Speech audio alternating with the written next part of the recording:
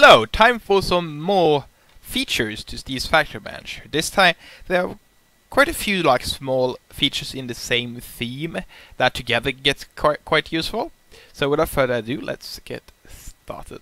So first of all, I just have a little setup here. What I have is a timer set to one second uh, interval like that. I just renamed it. Uh, I have a condition here checking for an item, but we haven't set any item yet. And then we can turn the output on or off like that. Uh, but if you get confused, like, what are these things on and off? Like, is that an emitter or is that something else? Uh, so if you get confused at any time, I've added, so if you hold control, it's just going to go back to their original names. But it's I'm not renaming them or removing their names or anything. It's just that uh, I show their types instead. So as soon as I uh, release control, it's going to go back. So you never change the names for anyone else. It's just for you that, alright, I want to see what, what they are. Like that. So that's just a small thing. So let's continue. Right. So first of all, I'm going to go in here. And this has nothing to do with the condition, really. What it has to do with is actually these slots here. I, those are improved. So now, uh, if I do, just to show you, block of redstone, let's start with that. Okay, so now if I put this block of redstone here, it's going to turn the lamp on, but if I put something else there, it's it's not going to be uh, turned on like that. So that's just to show the setup. Right. Now what I'm going to do is delete that and get a drill. So an iron drill from Steve's Carts. So The reason why I use these are because they are quite a good example of of the new things that are going on. So first of all, I I'm just checking uh, the drill. Uh, sorry, there you go. Uh, but now, instead of fuzzy and not fuzzy, we have four different modes. So we have pre precise detection, which is basically not fussy from previously. Then we have NBT, uh, NBT independent detection, which is a new uh, type of detection. Then we have fuzzy detection, which is basically if you selected it as fuzzy previously. And then we have a uh, fourth one, which is also new, which is ore dictionary support. So I'm going to go through all of these one by one, but we'll start with the fuzzy detection.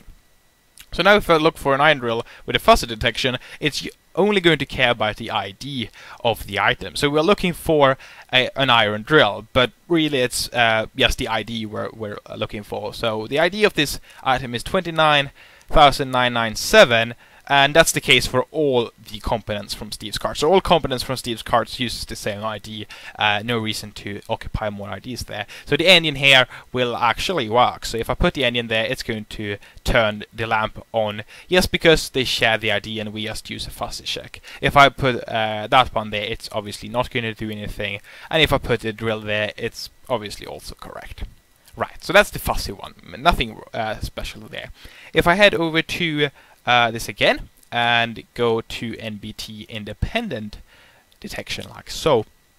Now, if I put this in, it's not going to work. Because now what we're checking for is the item ID to be the same and the damage value. So if we look here, uh, damage value 0, this is damage value 43, and these have damage value 42. So now if I add uh, this drill here, it's going to work. If I add this drill here, it's also going to work. But if I add this drill, it's not going to work. So as you can see, it's not on there. Uh, but if we take a closer look on this item here, uh, if I shift click to get its full description, it says durability 100%. Yes, one of these drills actually had that. This drill has 100%, but this has only 99, but it still worked. So these do share their item IDs and their damage values, but they have different NBT tags, which are used uh, when we need more information. For instance, these drills, and for instance, enchantments on tools. They also use NBT tags. So, um, you might want to have like a, a diamond sword uh, if you just want a diamond sword, then you want a fuzzy detection. If you want a diamond sword uh, at a specific damage value, then we want an NBT independent uh, detection.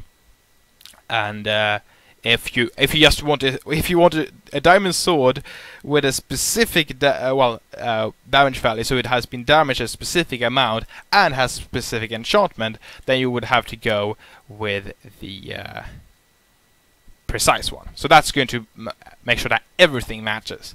So now if I put uh, the uh, that drill there, it's going to work. It has ex uh, it's exactly the same as the uh, uh, what we're looking for. But that really, even though it's the same type, uh, well, same ID, same damage value, it's not going to match because the durability is not the same, so the NBT tags are not the same there. So there we go. And then we have the fourth one, of course, which is the ore dictionary support. So ore dictionary, if you don't know what that is, is a way for modders to uh, well, initially it was for ores, so you could add like uh, lead ore from one mod, and then you can add lead ore from another mod, and then when you add a smelting recipe to lead ore to give you the ingots, for instance, then uh, by adding it to the ore dictionary, any lead ore would work in that recipe. So basically what this means is that if you add uh, in here, uh, let's remove that. If you add here like ore, like iron ore, uh, but well copper or something like that, then it would grab all the ores.